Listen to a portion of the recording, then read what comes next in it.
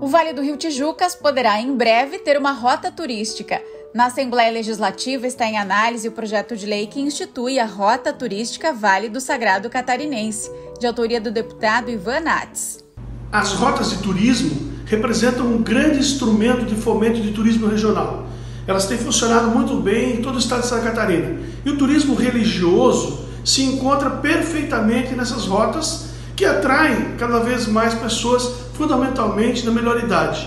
E nós temos o privilégio de ter cidades como São João Batista, Canelinha, Major Gestino, Nova Trento e a região de Tijucas, né, do Vale do Rio Tijucas, que atrai para a região mais de um milhão de turistas todos os anos.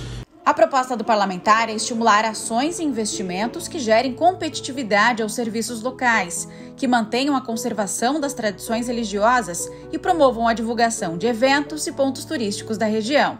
Nós vamos na Assembleia Legislativa, junto com a Santur, com o setor produtivo catarinense, com o trade turístico catarinense, é, da região do Vale do Rio Tijucas e incentivar a rota religiosa, essa que faz parte do nosso projeto para melhorar o turismo regional.